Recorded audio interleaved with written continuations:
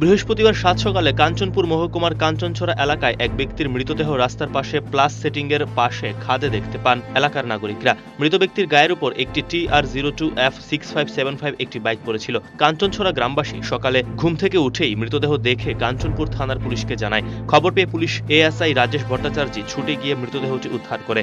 মৃতদেহ ময়নাতদন্তের জন্য পাঠিয়ে দেন কাঞ্চনপুর মহকুমা হাসপাতালে। বাইকটি বর্তমানে কাঞ্চনপুর থানায় রাখা হয়েছে। মৃত ব্যক্তির নাম রঞ্জিত দাস, বয়স সাতাশ। বাড়ি দাসপাড়া এলাকায়।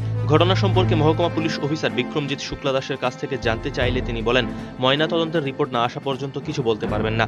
মৃত রঞ্জিত দাসের মা বাসন্তী দাস অভিযোগ করেন এটা অ্যাক্সিডেন্ট নয় ওনার ছেলেকে মার্ডার করা হয়েছে তবে ঘটনার তদন্ত করছে পুলিশ। আমার ছেলেরা কি রে এটা তো অ্যাক্সিডেন্ট হয়েছে না এটা তো হয়েছে মার্ডার আপনি কি ফটো দেখিয়া আপনি কি স্পট গেছেন না হাসপাতালে দেখছেন?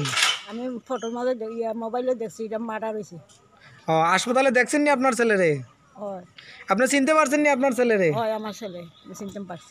মানে এদিকে রঞ্জিত দাসকে হত্যা করা হয়েছে। এই অভিযোগ এনে অভিযুক্তদের গ্রেফতারের দাবিতে বৃহস্পতিবার বিকাল চারটা নাগাদ নাগরিক সুরক্ষা মঞ্চের সদস্যরা কাঞ্চনপুর বাজারে একটি র্যালি করেন। তাদের দাবি ঘটনার তদন্ত করে অতি সত্বর আসামিকে গ্রেফতার করতে হবে।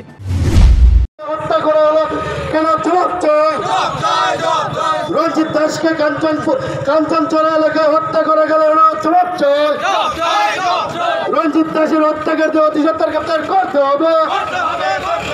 রঞ্জিত দাসের হত্যাকারদের অতি সত্তর গ্রেপ্তার করতে হবে।